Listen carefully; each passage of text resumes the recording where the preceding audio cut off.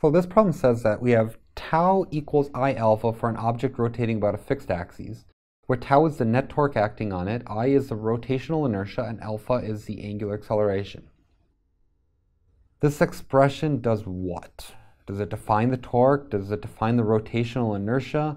Does it define angular acceleration?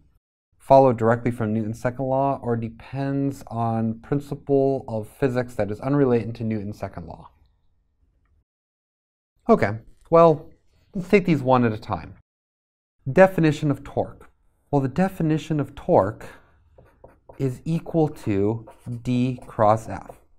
How do we get a torque? We have a force at a distance. We multiply the two using a cross product. So A, as I have it defined, is wrong because the definition of torque is something different. Same thing with the moment of inertia.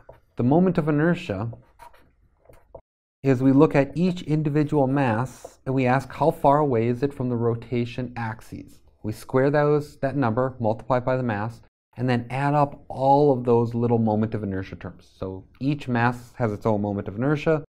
We add up all those moment of inertia terms, and this is how we get it. So this is how we figure out moments or ro rotational inertia or moment of inertia. Well, the definition of angular acceleration angular acceleration is defined as how fast the angular velocity um, changes, which we can write as d omega dt. And it is a vector equation. Our change of omega in a change of time, or d omega dt if you like the vector or the calculus version of this. So C is wrong. Well, I know that this, this equation, I actually prefer a different equation for this one. I prefer to write it as sigma tau is equal to I alpha. My net torque, I add up all my torques, it gives me I alpha. Well, this looks really similar to MA. F equals MA.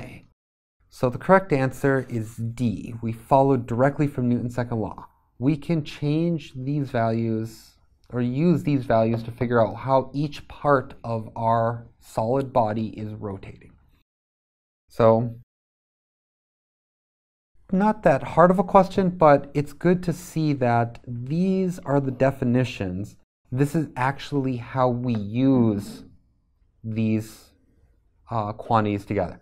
So Newton's second law, or Newton's second law for rotation, tells us how to add up some quantities and give rise to either an angular acceleration or a regular acceleration. So a net torque gives us an angular acceleration, a net force gives us a regular acceleration, and they have a proportionality constant that's related to how hard is it to rotate that object, its inertia, its mass, or its moment of inertia.